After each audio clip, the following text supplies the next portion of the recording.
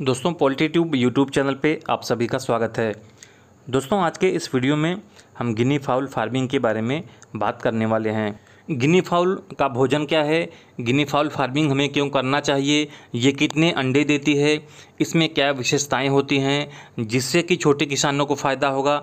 और अगर 2024-25 में हम गिन्नी मुर्गी पालन करते हैं तो कैसे कम से कम लागत में हम इसकी शुरुआत कर सकते हैं?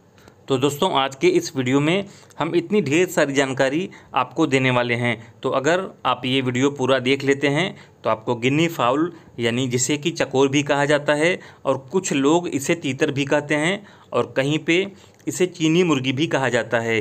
इसके बारे में आपको संपूर्ण जानकारी हो जाएगी। तो उम्मीद करते हैं आप पूरा वीडियो देखेंगे, ताकि गिन्नी फाउल की जानकारी के लिए आपको किसी दूसरा वीडियो को देखने की ज़रूरत ना पड़े। तो दोस्तों, सबसे पहले हम जान लेते हैं गिन्नी मुर्गी पालन के बारे में।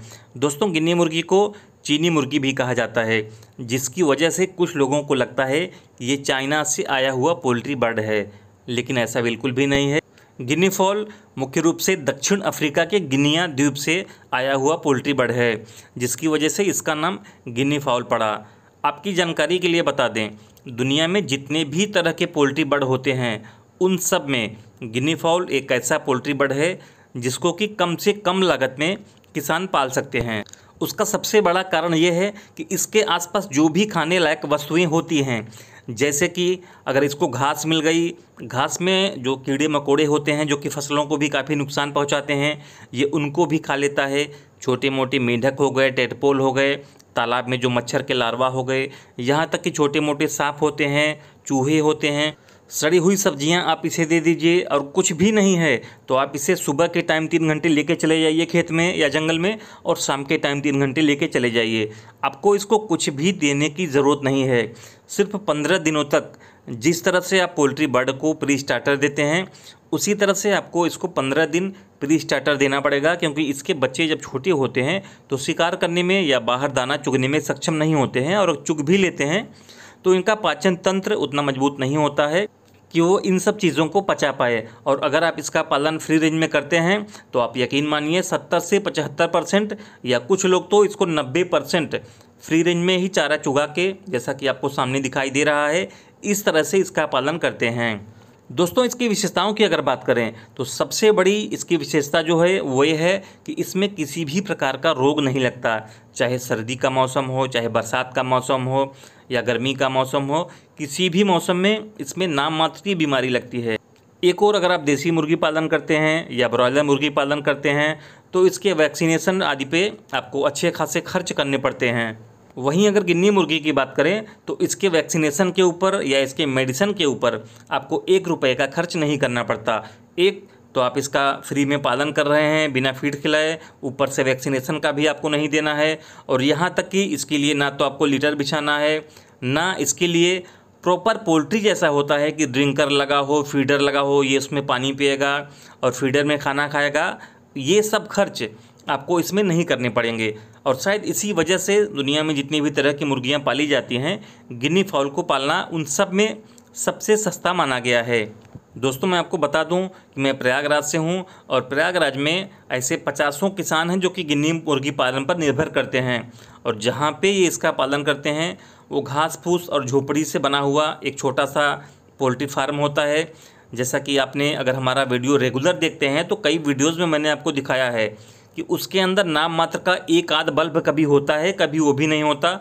और कुछ लोग तो जो छप्पर घास फूस का होता है, उसके अंदर भी इसका पालन करते हैं। तो आप मान के चल सकते हैं कि जो इसका आप पोल्ट्री शेड बनाएँगे, वो आपको सिर्फ़ इस हिसाब से बनाना है कि ये बाहरी जानवर इसके ऊपर हमला ना करें।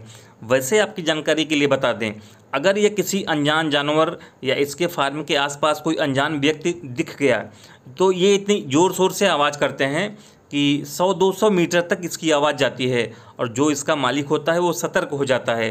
तो इस तरह से इसको फार्म का प्रहरी भी बोला जाता है। आपको बता दें कि कुछ लोग जिनके बड़े बड़े फार्म हाउस होते हैं, उनके फार्म हाउस पे दो चार छः जोड़ी गिन्नी मुर्गी वो लोग ज़रूर रखते हैं। उससे उनको दो तीन फ़ायदे होते हैं। एक तो फार्म के अंदर कहीं भी सांप सांप का बच्चा, बिच्छू आदि कोई जहरीला जीव जंतु अगर आ जाता है तो मालिक को पता भी नहीं चलता, ये उन्हें सफ़ा चट कर जाता है और ये खा जाता है। इसके अलावा जिन फार्म हाउस में महँगे महँगे फर्नीचर होते हैं तो वहाँ पे दीमक की समस्या होती है। तो वहाँ पे अगर दो, चार छः गिनी मुर्गी पालन होता है तो ये लोग क्या करते हैं कि दीमक को, ये इनका दीमक प्रिय भोजन है, ये उसको सफाचट कर जाती है। तो दीमक से आपके फर्नीचर का ये पूरी तरह से सुरक्षा भी करती हैं। और अगर आप इनको खेतों के आसपास ले जाते हैं कुछ फ़सलें ऐसी होती हैं जिनमें कि टिड्डी वगैरह बहुत ज़्यादा नुकसान पहुँचा देते हैं। तो अगर आपके पास 10-20 गिन्नी मुर्गियाँ हैं तो उन टिड्डों को या जो भी कीड़े मकोड़े आपके फ़सलों को नुकसान पहुंचाते हैं ये चुन चुन के खा लेती हैं, इससे आपकी फ़सल की सुरक्षा होती है। दोस्तों, आपकी जानकारी के लिए बता दें कि गिन्नी मुर्गियाँ अप्रैल से अक्टूबर के मध्य में अंडे देती हैं और एक साल में ये 90 से 110 अंडे तक देती हैं। और इनके वज़न की अगर बात करें तो 11 से 12 हफ्तों में इनका वज़न एक के से लेके 1200 ग्राम तक आराम से हो जाता है। दोस्तों, गिन्नी मुर्गी के अंडों की मार्केट में अच्छी खासी डिमांड होती है और कम से कम इसका अंडा दस रुपये में सर्दियों के टाइम की बात कर रहा हूँ मैं और ज़्यादा से ज़्यादा आपको अठारह से बीस रुपये में अगर आप किसी बड़े शहर के आसपास हैं तो इसका दाम मिल जाएगा। इसके मांस की अगर बात करें तो इसका मांस बहुत ही स्वादिष्ट होता है और उसमें अमीनो एसिड की बहुत अच्छी मात्रा होती है। फैट ज़ीरो होने के कारण बाज़ार में इसके मांस की बहुत अच्छी डिमांड है। दोस्तों, गिन्नी मुर्गी का एक दिन का चूज़ा आपको किसी भी हेचरी पे पचपन से साठ रुपए के बीच में मिल जाता है। और अगर आप इसके अंडे लेके किसी हेचरी मशीन में लगवाते हैं तो पैंतीस से चालीस रुपए के बीच में आपको इसका एक दिन का चूज़ा पड़ेगा। दोस्तों, अभी के समय में मुर्गी पालन करना बहुत ही महँगा व्यवसाय हो गया है, क्योंकि फ़ीड के बढ़ते दाम की वजह से मुर्गी पालन में प्रॉफिट का रेशियो बहुत ही कम होता जा रहा है। तो ऐसे में अगर आप गिन्नी मुर्गी पालन करते हैं तो बहुत ही कम लागत लगा के आप गिन्नी मुर्गी से बहुत अच्छा मुनाफा कमा सकते हैं। तो दोस्तों, ये थी गिन्नी मुर्गी की पूरी जानकारी। और अगर आपको ये जानना है कि अगर आप गिन्नी मुर्गी पालन करते हैं तो आपको प्रॉफिट कितना मिलता है 500 गिन्नी मुर्गी पालन में टोटल खर्च कितना आता है? इसको तैयार होने के बाद पर के जी इसका दाम कितना मिलता है? तो आप लोग इस वीडियो को लाइक और शेयर करें और जिन भाइयों ने हमारे इस यूट्यूब चैनल को सब्सक्राइब नहीं किया है, अगर आप लोग सब्सक्राइब करते हैं तो आने वाले वीडियो में भी आपको मैं गिन्नी मुर्गी की पूरी जानकारी दूँगा। और ना सिर्फ़ गिन्नी मुर्गी की, देसी मुर्गी पालन, सोनाली मुर्गी पालन की वीडियो भी आपको इस चैनल के माध्यम से लगातार देखने को मिलते रहेंगे। तो मिलेंगे अगली वीडियो में। धन्यवाद।